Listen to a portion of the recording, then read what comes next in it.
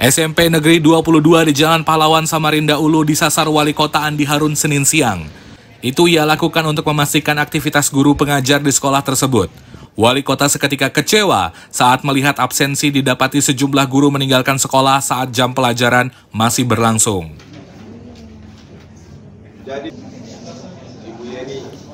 Kekesalannya bertambah setelah mendapat informasi dari kepala sekolah. Sejumlah guru yang meninggalkan sekolah ini tidak dibarengi izin resmi. Andi Harun juga menegaskan izin secara lisan untuk meninggalkan sekolah dinilai sebagai pelanggaran. Itu ia tegaskan selaras dengan peraturan wali kota tentang disiplin aparatur sipil negara. Pak Kadis, siap, siap. Tolong dipantau besok apakah kepala sekolah dalam melaksanakan perintah arahan wali kota untuk mengumpulkan semua. Tapi yang paling parah hari ini kita dapatkan di sini, mayoritas guru dari 78 ini, tidak semuanya, itu telah meninggalkan sekolah entah dengan tujuan apa kita nggak tahu. Ada Pak Kepsek tadi mengatakan ada izin tapi lisan itu tidak boleh. Izin tetap harus tertulis. Oleh sebab itu kepala sekolah harus mensosialisasikan perwali tentang disiplin.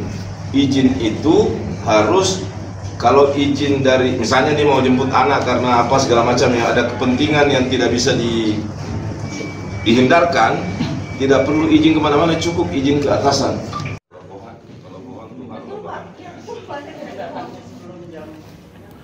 Mendapati hal tersebut, Kepala Dinas Pendidikan Kota Asli Nuryadin mengaku sudah berulang kali memberikan peringatan kepada para guru agar meningkatkan disiplin kerja.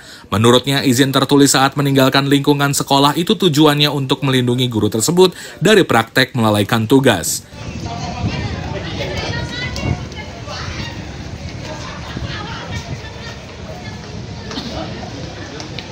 Ya saya kira uh, saya mengambil hikmah yang luar biasa besar ya.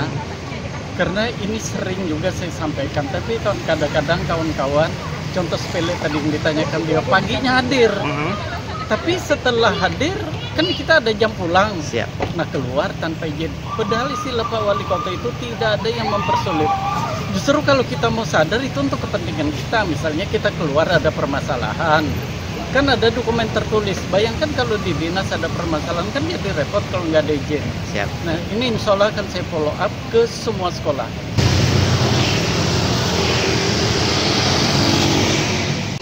Dinas Pendidikan berharap seluruh guru di semua tingkat kembali meningkatkan disiplin sebagai abdi negara. Ini disampaikan agar guru-guru tersebut tidak dijatuhi sanksi akibat kelalaiannya. Iswanto melaporkan dari Samarinda.